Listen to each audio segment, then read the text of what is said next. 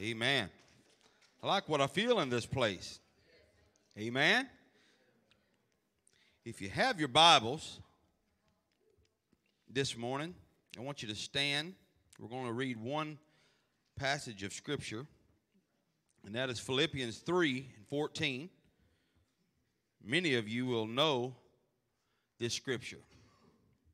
Philippians 3:14 says, "I press toward the mark for the prize of the high calling of God in Christ Jesus.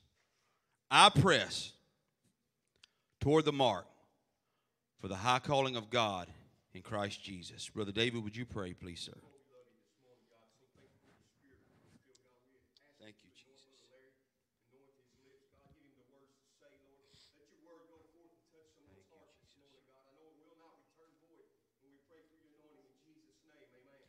Amen. You may be seated this morning.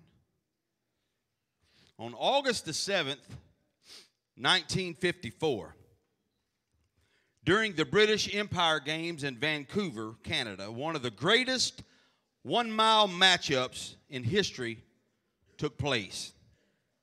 Only two men to break a four minute mile were to compete against each other.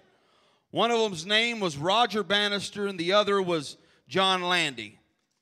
They were in a race that was billed the Miracle Mile. These two men, the fastest men on the planet to run a mile, were pitted against each other to run what is known as the Miracle Mile. Both men were in peak condition. It was the prime of their competitive careers. Landy led the race by a couple of strides, though most of the race, Bannister was forced to alter his strategy just to barely keep up.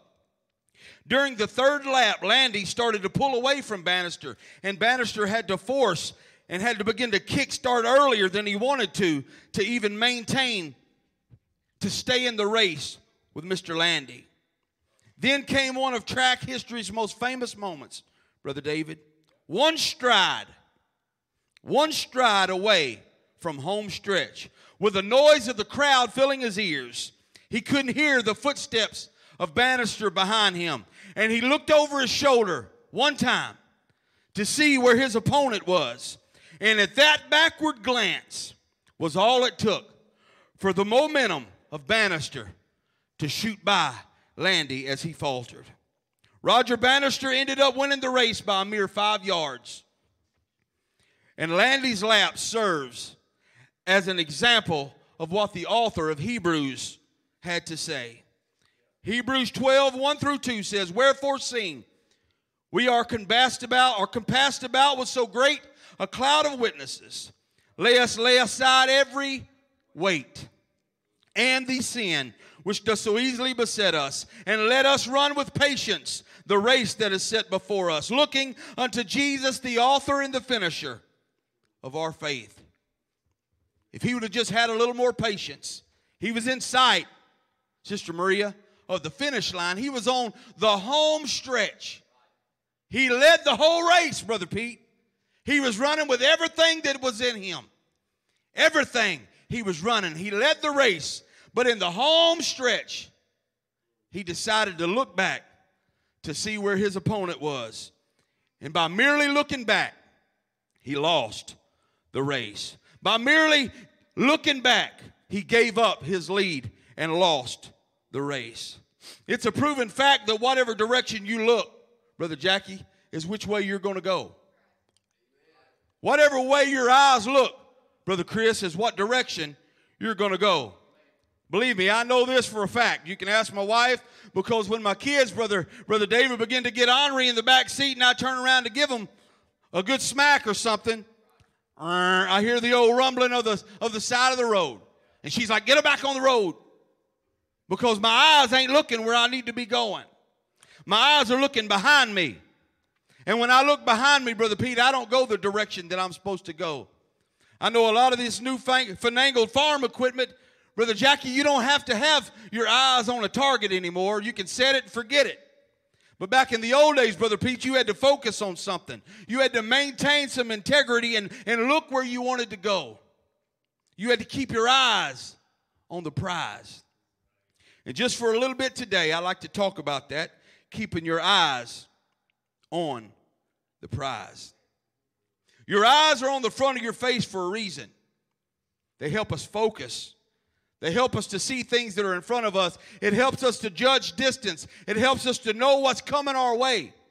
It helps us to see what direction we're going and what direction we're headed in. It helps us navigate obstacles that get in our way. As a, as a young child, we can watch them. When they first begin to walk, we can watch. When they walk to something and they grab a hold of it, and pretty soon they learn, wow, that hurts if I bump up against that. So I'm going to learn to move out of the way a little bit. In the middle of the night, if you've ever worked midnights and you come in early in the morning and your wife's done rearranged the house a little bit and you walk in where the coffee table used to be, it ain't there anymore, and you hang your little toe, you realize that what I can't see can hurt me. What I can't see and what I don't know is there can destroy me if I don't pay attention to the direction that I'm going. I've always got to keep my eyes on the prize. I know uh, my grandpa told me a story about his team of mules that they had when he was young and, and how sometimes when, when one of them would get ornery, they'd put little blinders on them. Brother Pete, what's them blinders for? So I can't see what's going this way and I can't see what's going that way, but I can focus on the job that is at hand. Sometimes we need some spiritual blinders on our eyes because we allow ourselves to focus on what's left. We allow ourselves to focus on what's on the on the right side or what's on the left side, and we don't keep our eyes on the place that God would have us to. We don't look toward the direction that He is leading and guiding us. By our very genetic makeup, we're designed to go where we look. That's the reason we should always ask God, Brother David, for guidance. That's the reason we should always keep our eyes on Him, always look to Him because He is the author and the finisher of our faith. He will lead us and He will guide us and He will direct us. I told Brother David and him this morning as I was reading my Bible this week, one of the things that really stuck out to me that I've never noticed before was Joshua. And Joshua came into the, the country of Israel, the nation, the Canaan land that God had promised him. And God told Moses and God told Joshua that I want you to destroy all the inhabitants of the land, everybody.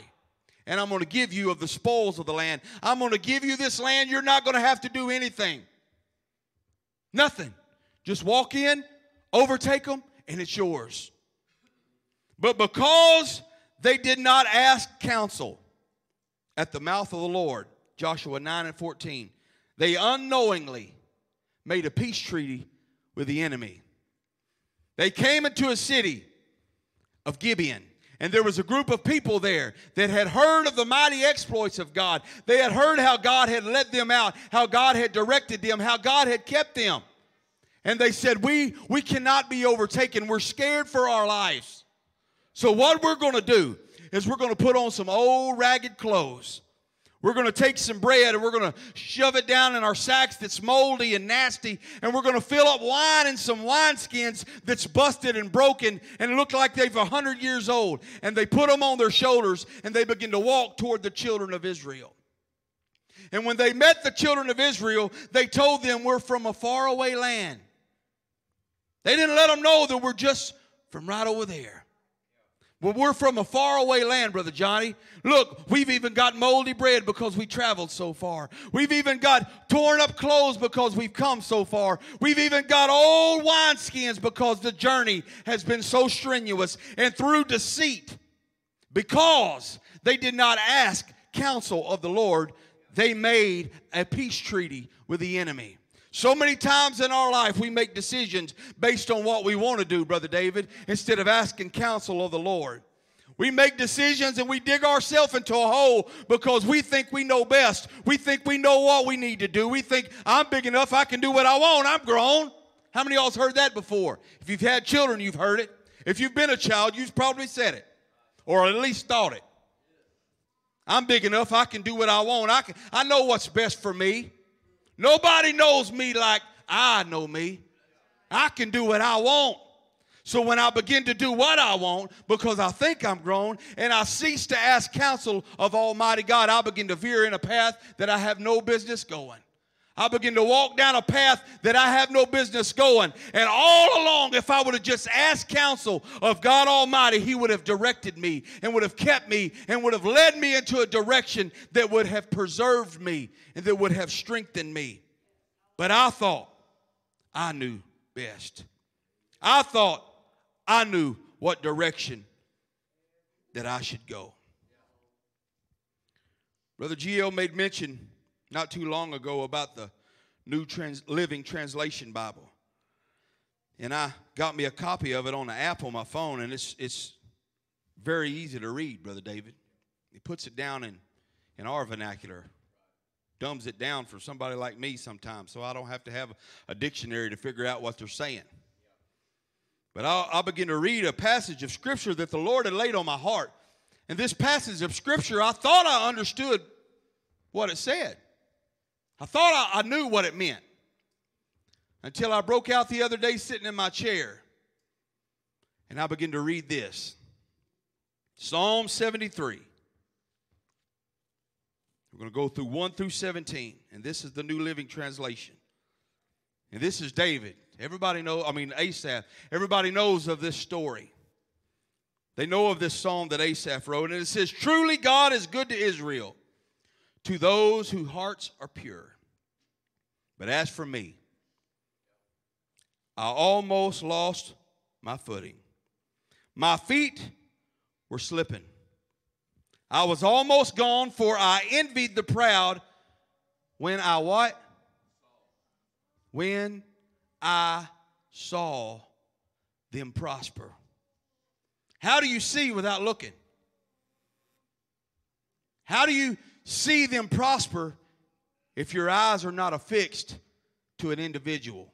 If you're not looking at people, how do you see them? He said, I saw them prosper despite of their wickedness. They seem to live such painless lives. Their bodies are so healthy and so strong. They don't have troubles like other people. They're not plagued with problems like everybody else. They wear their pride like a jeweled necklace and they clothe themselves with cruelty. These fat cats have everything their hearts could ever wish for. They scoff and they speak evil only. In their pride, they seek to crush others. They boast against the very heavens, and their words strut throughout the earth. And so the people are dismayed and confused, drinking in all their words. What does God know? They ask. Does the Most High even know what's happening? Look at all these wicked people enjoying a life of ease while their riches multiply. Did I keep my heart pure for nothing? Did I keep myself innocent for no reason? I get nothing but troubles all day long, and every morning brings me pain. If I had really spoken this way to others, I, have, I would have been a traitor to your people. So I tried to understand. Brother David, I, I, I looked at people. I got mad because it looked like they were being blessed. And I'm trying to do right. I've done this, Lord. Check number one. I've done this, God. Check number two. And I'm the one that's suffering.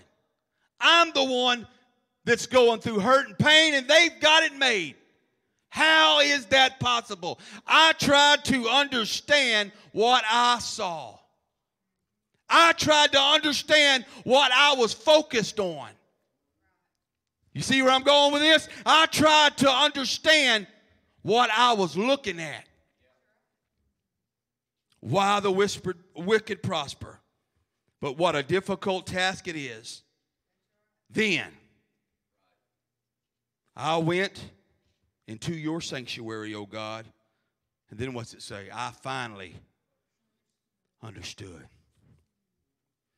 When I knelt down at the altar, God, and explained to you how upset I am and how I don't understand what I'm looking at, and I take my eyes for just a little bit off of what I'm staring at and focus on you, I now understand what I've been going through. I now understand that you've placed them upon a slippery slope. I now understand that what I thought was blessings were really curses because they don't have a clue what they're standing on. They don't have a clue what they're going through. But now I understand because I'm looking to you. Now I understand because my eyes are no longer on people, but they're on you, Lord. Don't Asaph's quote here in the Bible, don't that sound familiar, Brother David, to us? Don't that sound like something we'd say? I'm mad, God, because I don't understand what you're doing. I'm mad, God, because you're blessing them. They've got this, this, and this, and look at me. I'm upset. I'm mad. All these things that you promised me, where are they at, God? I don't see them. We sound just like the children of Israel. We're happy that God brought us through the Red Sea. Three days later, we're complaining because we're thirsty. Then I'm happy that I got water. Then I'm hungry, so he gives me manna. Then I'm mad because all I've got's manna, and he gives me quail. Then I gripe because I'm thirsty again. All of my life is complaining and griping because I'm looking at things I have no business looking at. I'm gazing at things I have no business gazing at, and I'm wondering why and how on earth God has forsaken me. When all along, if I just turn my eyes to Him, and begin to look to Him, the author and the finisher of my faith, for once in my life, I will begin to understand where I'm standing. He's placed me upon a rock, Brother Pete, that's higher than I am. I can't see where I'm going, God, but you've placed me upon a place of shelter. No matter what I think I'm going through, you're with me, and you're leading me, and you're guiding me, and you're directing me. When Asaph had his eyes on other people, he was falling. But when he went to the house of the Lord, he finally understood the destiny of the wicked. He finally understood what he was going through. He finally understood what he thought he knew all along. And this is that. When we gaze at things that are minimal, we falter. When we look at the faults of others, we falter, Brother David. If I judge myself among myself, I falter. I wish I was taller. Man, I wish I had a hair like him. I wish I was pretty as her. Every girl that I know that has curly hair wish their hair was straight. Every girl I know that has straight hair wish their hair was curly. Blonde headed wants dark hair. Dark hair wants blonde hair. We're not content with who we are because we stare at ourselves every day and we nitpick every flaw that we have. And we see ourselves as, I'm not as beautiful as somebody else. I'm not as pretty as somebody else because I stare at myself and I nitpick my whole life. And I dig myself into a hole because my eyes are on flaws and failures instead of Him. But if for one minute I can begin to look to Him and say, God, you've given me strength. You've, you've given me health. You've blessed me. You've protected me. You've kept me. You know, I begin to understand, you know, it's really not that important. I remember praying, Brother Jackie, when I was little. Sitting, I'll never forget it. Where I was sitting at, I was drawing and painting in art class. Never forget it. Brother Johnny, I'm sitting there painting, doing my thing for class, and here comes a girl pecks me on the shoulder. She said, Bobo, you going bald. I said, What? She said, You're going bald headed. I said, I ain't going bald headed. That's just how my hair's fixed. She said, No, you're going bald. So I got home, like every guy, and broke the mirror out, and I'm looking, trying to figure out, yep, it looks like it's getting thin. But I ain't going bald. God, please don't let me go bald like my dad, Lord. Please don't let me be like my grandpa. God, please, Lord Jesus, don't let me be bald. I was praying for something that was inevitable. It was going to happen. I didn't want it to happen, but it was going to happen. Then I got to a point in my life, I said, well, I can flip it all over to the side, or I can just peel it off. Then I got to thinking, you know, it's vanity anyways. It really don't matter. What's the big deal? I said, okay. So I'll peel it off. Sit there in my chair, and my baby girl walks in and starts crying. She's scared to death, don't even know who's sitting in a chair. She's crying, she's upset because for the first time in her life, daddy don't look like daddy no more. And she's scared. So that really made me feel good. But I realized, Brother Pete, that some of the things that I'm facing in my life, some of the decisions that I see in the mirror, that I, the, the, the things that I see that, that I think are failures really don't matter to a hill of beans. That's life. One foot's bigger than the other one. One finger's longer than the other one. One ear's higher than the other one. Does that matter? One eye squinty and one eye's open. Does it really matter? No, it don't.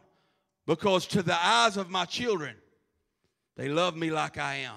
You think they're going to remember dad's bald headed with a squinty eye, or dad's got this, or dad's got that, or, or mom had this? No, they ain't going to remember that. But they're going to remember the times you knelt down and you hugged them and you kissed them. They're going to remember the times that you wiped the dirt off of their leg and their busted knee and you fixed it up and said, It's going to be okay. That's the things you're going to remember. And that's the things we have to remember that when we're looking in the mirror of life and we're judging ourselves amongst ourselves, and I wish I could preach like Brother GL. I wish I was good at this like this one. I wish I had the knowledge Brother David had, and I begin to judge myself amongst everybody else. I will belittle myself to the point where I don't even feel worthy to do what God has called me to do. I will belittle myself to the point where I can't even look at myself in the mirror without condemning my own self. Because I see nothing but failure. I see nothing but flaws. So I'm going to do this and I'm going to do that to make myself look better because all I see is failure. But God said, if you just get your eyes off of yourself, off of everybody else, and affix your eyes to me, you're going to see a whole new world. You're going to see a whole different outlook than what you're seeing right now. But you have to turn your gaze to me. You have to look to me. When we look in any other direction than the leading and the unction of the Holy Ghost, we will fail. Children of Israel, the case in point. We look at them and we think, Sister Maria, how ignorant can you be? I've thought that myself. How ignorant can you be? God destroyed the Egyptians in front of you. He led you by a pillar of fire, and He led you by a cloud. He parted the Red Sea and allowed you to walk through on dry ground, and you're still complaining. How ignorant can you be? And then I look in the mirror and I think, how ignorant can you be? And I start thinking about all the things God has done for me. This just as great as what he did for the children of Israel, Brother Manning. All the things that he's led me through that nobody knows about. I sit at Tasters one night and began to tell Sister Maria and Sister Kim some of the things that's happened in this boy's life that a lot of people don't know about me and Ashley began to tell them about some things that God has done for us. And I thought to myself, at the time, you don't realize it. But I thought the older I got, how ignorant was I not to realize what God was doing in my life? Or how hard headed and hard hearted was I to push Him to the side because I wanted to do my own thing? He's the same God. If you think for one minute that God still don't work miracles, then you're sadly mistaken. If you think for one minute that God still don't care about your well-being, then you're sadly mistaken because he loved you and he cares about you and he cherishes you. You know as well as I know your children. There's not one that you love better than the other one. You treat them all different because they all act different. You treat them different because each and every one of them do things different. One of them is more loving. One of them's smarter. One of them does this better. One of them's more athletic.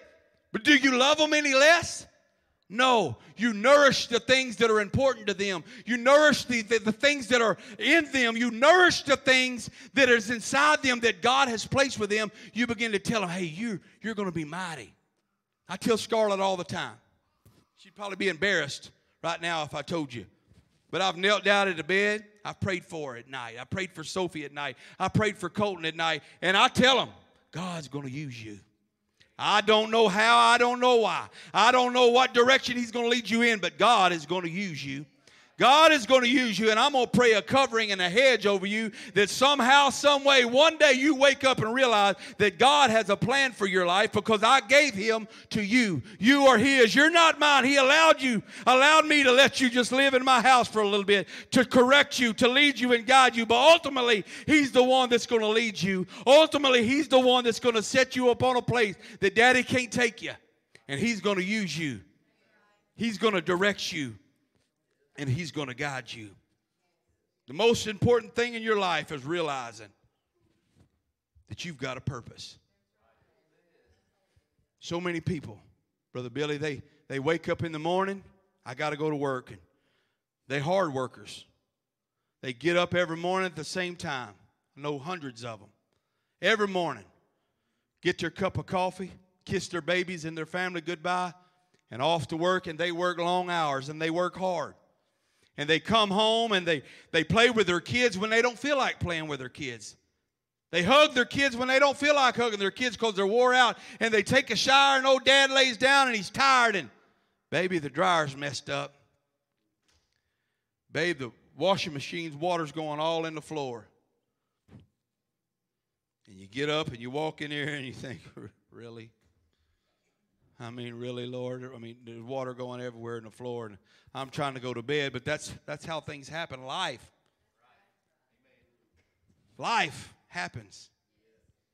And if we allow it, if we focus on those things, we'll be in a pit till we can't dig ourselves out of. We just, woe is me, God. But I remember my grandpa all, all of my life, man. I watched him. Watched him battle things, watched him go through things. My dad, same way, with a smile on their face. And I'm thinking, man, how in the world do you laugh through stuff like that? How do you smile through things like that? I watched him in the morning. Hey, good morning, he said. Four o'clock in the morning. I'm thinking, man. Now I'm that, hey, good morning. And Ashley's thinking, man. Woke her up the other day. I said, hey, how are you doing? She just looked at me like, really? This is what you want to do at 6:30? Really? But that's just me because I am truly thankful. If you've known what some of the things I've been through, you understand why I'm thankful. Why I praise him like I praise him and why I don't care what people think about me anymore. I used to be that person, Brother Pete, that wanted to be cool, that, that really thought, you know, I can't act ignorant like that. I had one of my buddies tell me, if I come to your church, I ain't acting like y'all people. Y'all's crazy. Y'all's nuts. But yet, he was the one that was doing all the crazy stuff. And his wife said, I thought you wasn't going to act crazy. He said, I don't know what got a hold of me, but I'm glad it did. Because when you realize that what you've been focused on, when you realize that the things of this life that, that were dragging you down because I got to work, I got to have this, you were made for so much more than what you think you're made for. You was not created to get up and work every day, even though we have to. That ain't why you was made. But on my way to work, at work, at home, at lunch, wherever I'm at, I can do what I was created to do. And that is be a witness to everybody that I come in contact with. That is worship the Lord, to praise the Lord, and to magnify His name because I was created to worship Him. I was created to praise Him. And when we realize, Brother Pete, that that's what we were made for being bald headed with a squint eye, one ear bigger than the other, one foot, high waters. Y'all probably don't know about no high waters, but my mom always bought our pants too long. She'd tuck them in and sew them up. So when they started riding a little high, she'd just undo the stitch and let them out. So now my light colored jeans had a big dark spot on the bottom, which was really cool in school, you know, Brother Billy. That was that was the hip thing to do. Not. And I thought, really, I'll never do this to my kids. I'll never make my kids do this. And I thought to myself, if Mom, you don't understand what I'm going through. She thought, well, you really don't understand what I've been through. But I thought I was dying because at that point in time, that was the most important thing in life to me was being cool at school. I thought life was over, man. What am I going to do when I graduate? All my friends, oh God, I, am going to die. I, all my friends are going to be gone, and my whole world's ending. Then a couple years after that, or two or three years, everybody's moved off. You don't even really remember things anymore. You realize how petty your thinking was. Why? Because our eyes are focused on things that they had no business being focused on. We get focused in the now. We focus on what we can touch and what we can see. We don't realize that there is a plan for us. We don't realize that if we can just focus upon the Lord and look to Him, like I said, the author and the finisher of our faith, He will lead us and guide us into every direction that He wants us to take. Instead of us trying to feel around for what direction we feel is best for our life. I want to do this. I want to do that. I want to be a doctor. I want to be a lawyer. There's nothing wrong with having hopes and dreams, but there is something wrong with kneeling down and say, God, how about you give me some direction? How about you lead me and guide me and let me know what you want me to do because I can still be a doctor and make it to heaven, but I'll never make it to heaven unless I'm obedient to you. I'll never make it to heaven unless I walk the path that you've set for me because you've placed me upon a place. You have placed something in my life that I have to do. You're leading me and you're guiding me, and I have to know the direction that you want me to take. See, healing for the blind man came when he set his sights on one he could not physically yet see. Think about that for a minute. Healing for that man. I can't physically see him, but he's there. I don't know where, but he's there. I heard he's coming. He's there. Well, you can't see him. Sit down, hush. No, he's there, Brother Pete. Where's he at? Take me to him. Sit down, leave him alone. He throws that beggar's coat off and said, No, where's he at? I want to see. And Jesus asked of him, What is it that you want? He said, That I might receive my sight. He saw because he saw in faith. He saw physically because he saw in the spirit. He believed in faith. Faith is believing without seeing. Faith is believing without seeing. Faith is the substance of things hoped for, the evidence of things not seen. Hebrews 11 and 1 says, It's believing on something even though we can't see it. Thomas believed because he touched the nail scars. He touched the hole in Jesus' side. He said, That's you, Lord. I, I believe it now. But Jesus said, Blessed are those who have not seen and believe. Blessed are those who ain't seen me, but yet they're believing in me. You see, if you want to see miracles physically, you've got to start seeing with some faith. You've got to start looking outside of the box and what you can touch and what you can feel. You've got to start looking and get your eyes off of other people and start looking to the one that can lead you, the one that can open your eyes, allow you to see. Amen. It's faith that's going to move the mountain. It's faith that's going to open your eyes. But you first have to set your eyes upon the Master. You first have to look to Him. You first have to look to Him. You see, the only thing that keeps us from our goals is sin. The only thing. I mentioned this a couple weeks ago, but I sit back there and I watch every one of them kids in my class who sometimes they punch each other in the arm and pull hair. Ain't paying attention, you think. Hush, be quiet. Hush, stop. Don't. Listen, I'm going to send you out there. And you think they ain't grasping anything, Brother Pete. But I sit there and watch them as I begin to talk to them about how sin separated them from the presence of God. And how that angel was placed, Brother David, with that flaming sword in the, in the front of the Garden of Eden. God wasn't playing when he placed that angel there. He didn't just stick him there for looks. That was for a purpose. You ain't going back into my presence because sin has separated you from me. Sin separated a holy God from us. The only way that I can get back to that one on one relationship with a holy God is to humble myself, repent of my sins, be baptized in the name of Jesus Christ and receive the gift of the Holy Ghost. Then, brother, brother Billy, I can walk back with Him every day. I can talk with Him every day. I can say, Lord, what direction do you want me to take? God, lead me, guide me, direct me, Lord Jesus. Keep me, never leave me, God, but always keep me in your presence. Always guide me in the direction that you want me to go. Don't let me sin, God. Don't let me fall. Don't let me falter. Don't let me fail. But if I do, Micah 7 and 8 says, Rejoice not against me, O mine enemies, for when I fall, I shall arise. When I make a mistake, I'm going to get up because I'm trusting in the Lord. When I fail, I'm going to get up, Brother Billy, because I trust in the one. I believe in the one that is able to protect me, to keep me, and to save me. I found this site on, on the internet. It talks about the key to overcoming besetting sin.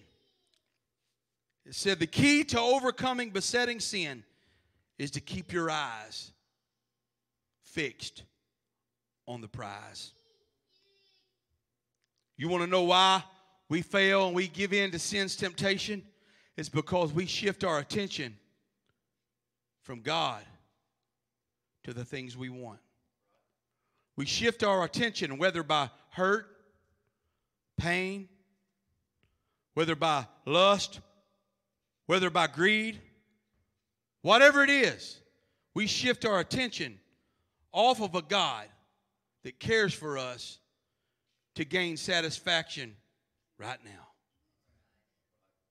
Right now. I can touch it right now.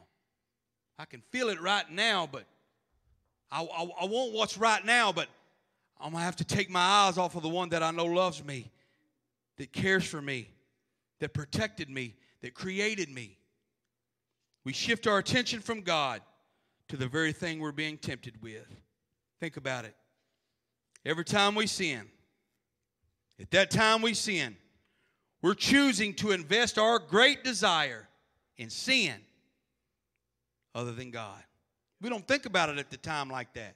Nobody thinks about it at the time like that. Well, I'm turning around and walking away from God because I want to do this. Most people don't act like that. It's just temptation, Brother David. The Bible says when we're tempted and brought about by our own lust, what we want, what this flesh wants. We blame a lot of stuff on the devil that's right here. It's this flesh, it's what we desire. We give him props for things he ain't got no business having props for because it's what we want. I want it. And because I sit and I ponder and I think about it and I think on it, I act on what I think about. You are what you eat and you become what you think about. Whatever a man's on the inside of him, that's what he's going to be. So we got to take and make ourselves say, no. I told Scarlett the other day, I said, look, when things come into your mind, you've got to be the person that says, no, I'm not going to do that. When you begin to ponder on things, you say, No, I'm not going to do that. It's like a splinter that gets stuck in your hand. If you don't get that thing out, it's going to begin to fester. It's going to begin to get sore. It's going to begin to, to, to puss up because it's infected. And that's the same way your mind's going to be when you begin to allow things in your mind. You begin to think on things in your mind, and you're not thinking on the things of God. You're not looking to the things of God, but you must keep your eyes upon the prize at all times. You must look to Jesus. You must keep your eyes upon Him because in the midst of your trial, He's the one you're going to need the most. He's the one you're going to need the most. As I said a while ago, at the moment we fall, the desire and the objects of our temptation at that present time, we wanted it more than God. We wanted it more than God. Do you think for one instance, Brother David, that Eve wanted to get kicked out of the Garden of Eden? It was a utopia. It was a perfect, perfect place. Everything they could ever want peace, harmony, everything was great. You think they really wanted to get kicked out of there? No. But what happened was, one time, she listened. He said, just check that tree out over there. And she took her eyes off of God and what he told her. Don't you even go near that tree. Don't you look at that tree. And don't you partake of that tree. And she focused her eyes on the thing she desired the most. And when she focused her eyes and begin to think, the old devil slid in And he said, Well, you know, really, God, you're, you're, you're not going to die. If you do this, you're, you're not going to die. There's plenty of time. You've got time.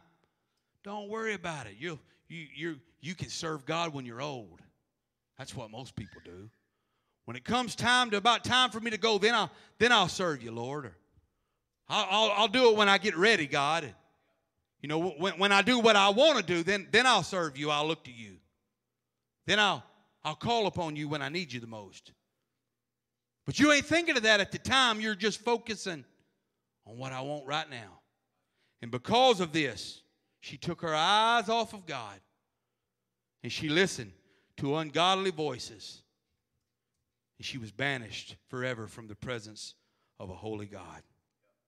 When we sit here at church on Sunday morning, so far away from the sin that besets us, we, do, we, we think of how foolish it was that I done that. How ignorant was I to do that? I, I, that was stupid.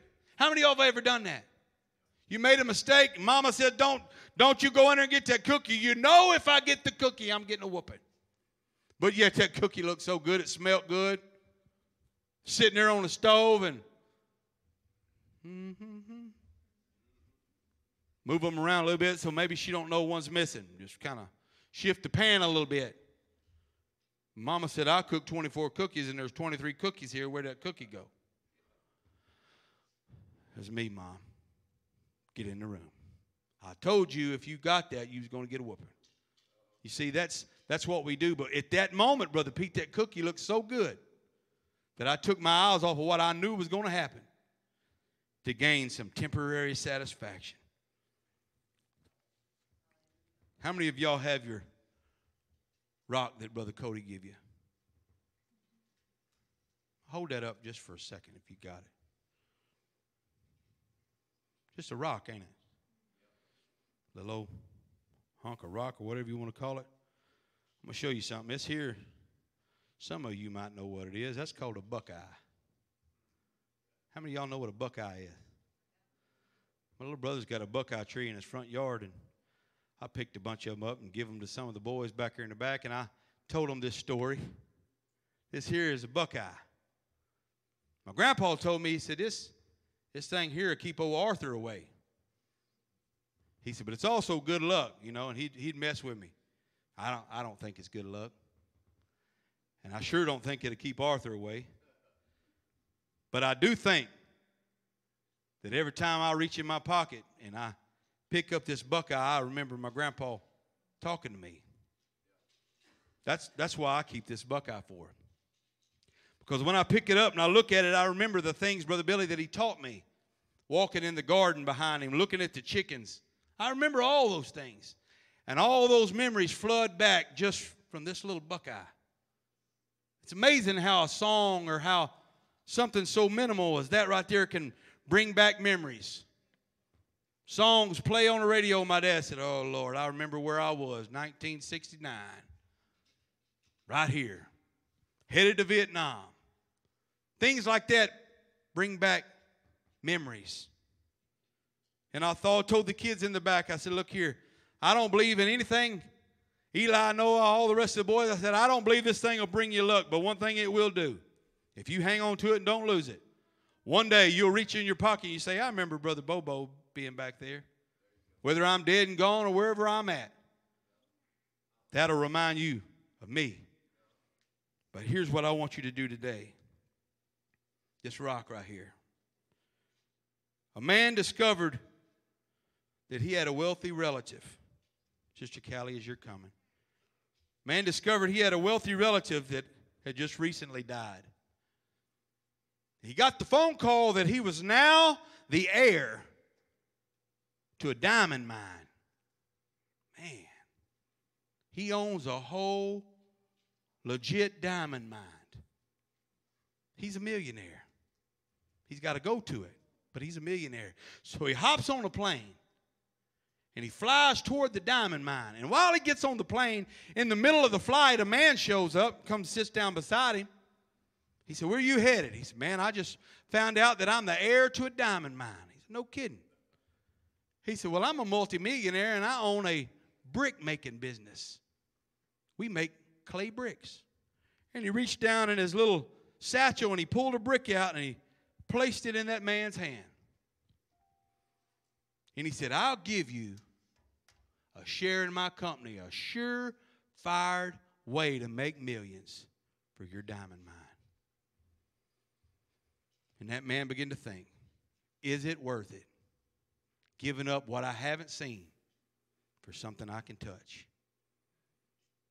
His life that we live, he said, Behold, I go to prepare a place for you, that where I am, there you may be also. He's making a place for us, but not only that place. Brother GL talked just not too long ago. It ain't just that place we can go to. But every single day that we live, every hour of every day, we can go to a secret place. When I don't feel good, God, I can call upon you and I can be transported to that secret place where me and Him can commune one on one no matter what I'm facing. Me and Him can talk, Sister Maria. We can be together. I can trade that promise for something that I can hold right now, something that I can touch right now, whether it be a boat, a car, a girlfriend, a boyfriend, money, job, whatever it is. That's what this symbolizes. That's what this is. Mark 8, 36 and 37 says, For what shall it profit a man if he shall gain the whole world and lose his own soul? Or what shall a man give in exchange for his soul? What will you give? What will this rock be to you? Brother Pete? What will that be? Is a job worth my soul? Is, is something that I cherish in this life worth the promise of something far greater? Luke 19 and 40 says this. The disciples were praising the Lord. They were magnifying him. Hosanna, Hosanna, worthy. Blessed is he who comes in the name of the Lord. They were worshiping him to the point where the Pharisees said, Y'all need to just hush. Be quiet. And Jesus said, I tell you that if they should hold their peace, that these stones are going to begin to cry out. I want you to keep this stone in your purse, men, in your pocket, like I carry that buckeye. And when you pick chains out of your pocket during the day and you look down there and you see that rock, have I praised him today? Have I magnified him today? Because if I don't, there's a very good chance that this thing that I hold right here will take my place. He spoke this into existence, Brother Pete. And when he spoke it into existence, it's just there. But he created me. He's protected me. He's kept me. He's guarded me. He's blessed me. He didn't bless this rock, He blessed me. And I am never going to allow this rock to worship Him and to praise Him. As long as I have breath, Brother Jackie, to say, God, you're worthy of all that I can give you. You're worthy of everything that is within me. Let every breath that I have in my body praise you and magnify you, and never let this rock take my place. Every day that I live, Lord, let me let me run my hand in my pocket. I'm gonna see my grandpa. But number one, let me see you. Let me remember, God, no matter what I'm going through, that I can praise you, that I can magnify you that I can lift you up. If you would this morning, just come. Just come down here.